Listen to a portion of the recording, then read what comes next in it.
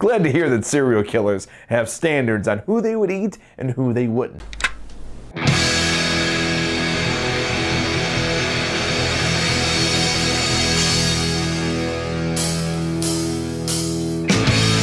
What's going on, everybody? Mark Hahn with your MHN Horror Fact of the Day. Today's fact continues our series on serial killer facts. We're I gave you facts on serial killers. Today's fact is on the famous Milwaukee cannibalist and serial killer, Jeffrey Dahmer. But hey, before we get to that fact, if you could be so awesome to stab that like button, smash that subscribe, and click that little dingy bell to be notified every time we drop amazing content right here on MHN. Now back to the fact. Of course, Jeffrey Dahmer is very famous for being a crazy serial killer and a hardcore cannibalist. However, he had a very interesting standard about who he would eat and who he wouldn't. One of the biggest things was that he would not eat anybody that had tattoos. Why, you may ask? Well, according to police reports and his confession, he admitted that he didn't like it because apparently tattoos made flesh taste weird. I, I, I got nothing.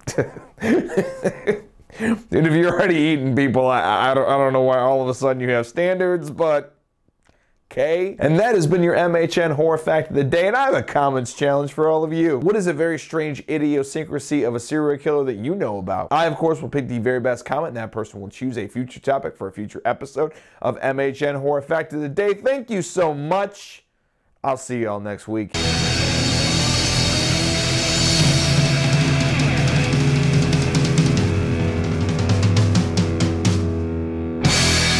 yeah, I, fucking weird. I mean, I guess everybody has food preferences, but uh, yeah, the um, uh, I guess uh, I mean I guess it is reassuring for those people who had tattoos back then that uh, you were safe. Uh, you were safe from uh, being consumed by this fucking nutball. But yeah, yeah, that's uh, it's pretty weird. It's pretty weird.